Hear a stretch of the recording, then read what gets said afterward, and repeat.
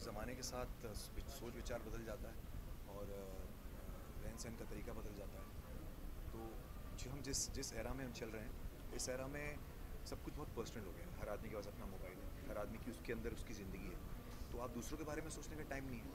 तो ये जो बुक है, ये आज के ज़माने के लिए बहुत ज़रूरी है क्योंकि ये ये ये आज से दस साल पुराना इमोशन है। जब एक अनकंडीशनल लव जैसी चीज़ हुआ करती थी।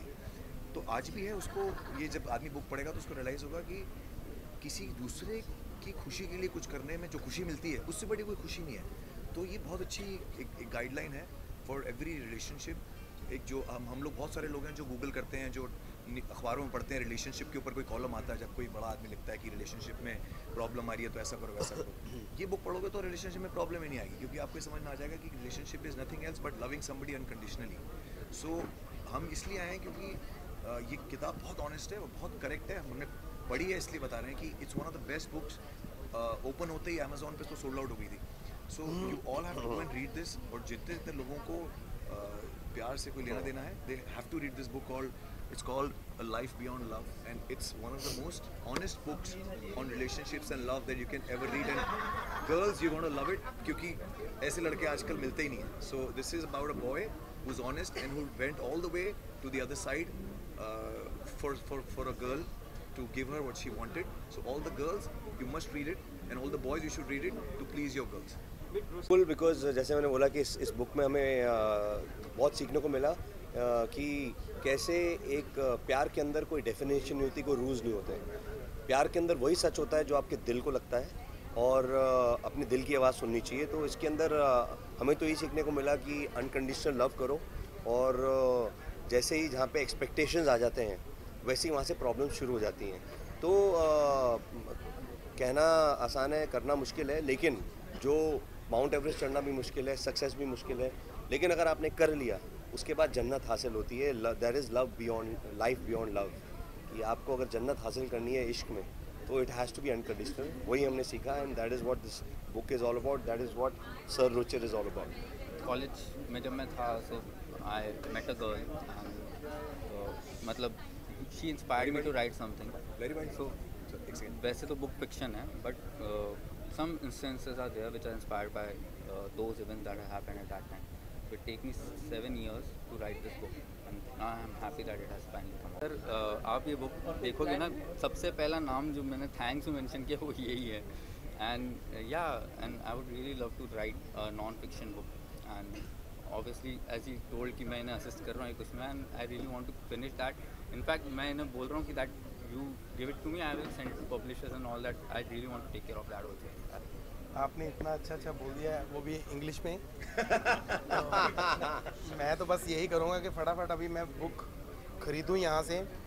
यहाँ होगी ना रिलीज़ तो सब सुन लो रिलीज़ हो चुकी है और ये आप सब ऑडियंस को बोल रहा हूँ, जो न्यूज़ सुन रहे हैं, देख रहे हैं तो ये आपके लिए लिखी है और आपने लेनी भी है, इसको पढ़ना भी है और इस पर अमल भी करना है मतलब प्यार भी करना है। और लेकिन ऐसे प्यार करना है, जिन्हें, जैसे इन्होंने बताया, वो प्यार नहीं करना मतलब वाला, ये है एक अच्छा प्यार। और मुझे भी टाइम पे मिल जाती कहीं, उस उम्र में तो मैं भी काम आती, चलो कोई बात नहीं, लेकिन thank you so much God bless you इसी तरह तरक्की करते रहें, बस मेरी दुआ है। और एक एक बात और कहना चाहूँगा कि हर इंसान की रिलेशनशिप में कोई ना कोई अप एंड डाउन रहता है कॉम्प्लिकेशन रहती है। कई बार बहुत बड़ी बड़ी कॉम्प्लिकेशन रहती है और समझ नहीं आता कि हम कैसे करें बिकॉज़ हर जगह डॉक्टर्स तो हैं और हर जगह लॉयर्स भी हैं हर जगह पुलिस भी है। साइंटिस्ट भी हैं लेकिन लव का डॉक्टर जो कहते हैं या लव का एक कंसल्टेंट या रिलेशनशिप ऐसा हिंदुस्तान में अभी ज़्यादा है नहीं।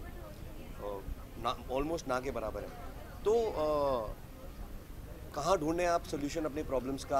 हर आदमी जो इंटरव्यू देख रहा होगा सोच रहा होगा, यार कि थोड़ी बहुत जो भी प्रॉब्लम है, मैं उसको भी सॉल्व करना चाहता हूँ, क्योंकि अगर लव की प्रॉब्लम सॉल्व हो जाती है तो आप काम में तो काम में तो झंडे गाड़ देते हो। आप लोग इंटरव्यू लेने में मस्त हो कैमरा वाले भैया जो कैमरा ले उसमें उनको मज़ा आता है लेने में। लेकिन अगर टेंशन चल रही हो कि घर पे गर्लफ्रेंड या बीवी से झगड़ा चल रहा है प्रॉब्लम चल रही है तो आदमी का पूरा संतुलन बिगड़ जाता है। तो क्योंकि यहाँ कंसल्टेंट नहीं है, क्योंकि यहाँ डॉक्टर नहीं है तो उसके लिए लाइफ बियॉन्ड लव है। और इसके अंदर इन्होंने कोई सोल्यूशन ऐसा नहीं दिया है कि लव के क्या प्रॉब्लम्स के क्या सोल्यूशन है। इन्होंने एक ही सोल्यूशन दिया है और उसी वो सोल्यूशंस वो ऐसी वो ऐसी टैबलेट है जिससे सारी प्रॉब्लम सॉल्व हो सकती हैं। दैट इज़ लाइफ हाँ रामबाण life beyond love which is unconditional love unconditional love and without expectation अगर आप करोगे तो आप रियलाइज़ करोगे अरे वाह, मैंने तो कुछ एक्सपेक्ट ही नहीं करा अपनी गर्लफ्रेंड से और यू नो बीवी से और मैंने सिर्फ़ उसके लिए करा ही करा है ज़िंदगी में। तो जब आप सिर्फ़ करोगे करोगे और कुछ एक्सपेक्ट नहीं करोगे तो कोई प्रॉब्लम आएगी नहीं। लास्ट में ही अभी स्पेशल नहीं आ रही। जब से मिले तब से साथ में चल रही हैं। किताब को ब्लेसिंग देनी लाइफ में कि जो इनकी फीलिंग है, वो सब तक पहुँचे और प्यार से कुछ नहीं होता, मैं समझता हूँ अंडरस्टैंडिंग से है प्यार प्यार प्यार को करता है, लेकिन प्यार को अंडरस्टैंड करना पड़ता है, फिर रिश्ते आगे बढ़ते हैं। तो ये ये जो किताब इन्होंने लिखी इनकी फीलिंग है, अगर दर्द नहीं होता तो किताब नहीं होती। तो जैसे इन्होंने बताया कि सात साल पहले इन्होंने लिख दिया था, पच्चीस परसेंट बाकी था। वो हादसा अभी हुआ कि पहले हो चुका था? दस साल पुराना ये फीलिंग्स पुरानी जब है। फीलिंग पुरानी है लेकिन ताजे तेज अक्षरों में इंग्लिश में लिखी गई है। अ, हिंदी में क्यों नहीं लिखी बुक में कुछ मेरे को इतना प्यार नहीं करते ना। आपसे ही करते हैं इंग्लिश वालों से। So. I can speak English some time बाकी ये संभाल लेते हैं मेरी इंग्लिश को बीच में। अ, मेरे पर इंग्लिश की बड़ी तंगी थी तो मैंने अपनी तंगी इंग्लिश की गानों में डालनी शुरू कर दी। अच्छा। रिक्वेस्टा पाइया ने परमिशना पाइया ने जो भी था तो हिट होनी शुरू हो गई। क्या तो मेरी कमी पेशी पूरी होगी तो मैंने जो बोलना था बोल दिया पन्ना पन्ना किताब का खोल दिया ਤਾਰੇ ਗਿਣ ਗਿਣ ਯਾਦ ਚ ਤੇਰੀ ਮੈਂ ਤੇ ਜਾਗਾ ਰਾਤਾਂ ਨੂੰ ਰੋਕ ਨਾ ਪਾਵਾਂ ਏੜੀਏ ਗਮ ਦੀਆਂ ਬਰਸਾਤਾਂ ਨੂੰ ਓ अलावा जान गए सब मुझ पे तू किन्ना मरदा है। मुझे कैसे पता ना चला कि तू मैनू प्यार करदा है। मुझे कैसे पता ना चला कि मेरा इंतज़ार करदा तो इस किताब के अंदर रिया और रेहान की जो स्टोरी है, उसमें ऐसा कई बार हुआ है कि कभी रेहान को नहीं पता लग रहा, कभी रिया को नहीं पता लग रहा, इसलिए बाकी आगे की पिक्चर देखने के लिए बुक पढ़ी है। इश्क वही है, सदियों से हमारा पहली बार होता है, हमारा दिल टूटता है, हमें अलग सा लगता है। वो इश्क सदियों से ज़िंदा रहता है, जिसको पहली बार प्यार होता है, उसके लिए नया, जिसका पहली बार जुड़ता है, उसके लिए नया सिर्फ़। लेकिन ये सदियों से ऐसे ही होता है, ऐसे ही होता है। रिचर ने किताब लिख दी बस। बस इश्क इश्क होता जी। तेरे इश्क में लगाए हमने कितने चक्कर। तेरे इश्क में लगाए हमने कितने चक्कर। इकहत्तर, बहत्तर, तिहत्तर, चौहत्तर, पचहत्तर, छिहत्तर, ये जो इश्क नहीं आसान, ये मतलब आप ही जिन्होंने किया हो वही लिख सकते हैं। ये मतलब बहुत सुपर डुपर हिट हो।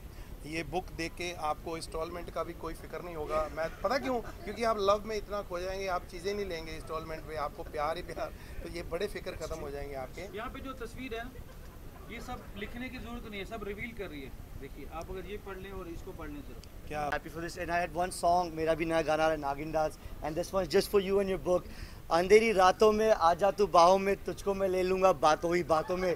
तो दूरी मिटा सामने आ मैं हूँ एक स्टार ये गाना है फार लिमिट्स के बाहर इसका कॉन्फिडेंस ये पूरी हिला देता ऑडियंस रुचि तेरा फ्लो करे ग्लो तेरा फ्लो करे ग्रो उसमें तुम कर लो आज Nagin dance I love you Ruchi. क्या बात क्या बात क्या बात ये गाना मैंने लिखा था कहाँ से उगला नागिन नागिन डांस नच। और और मेरा नया आ रहा है Nagin dance is another one यहाँ तो वॉर हो चुका है कि किस इनका गाना इन्होंने कॉपी करा है या किसने क्या करा है ये देखना पड़ेगा देखना पड़ेगा। अगले best of episode luck all the best love you love you Ruchi. हमारी ज़िंदगी में रहो।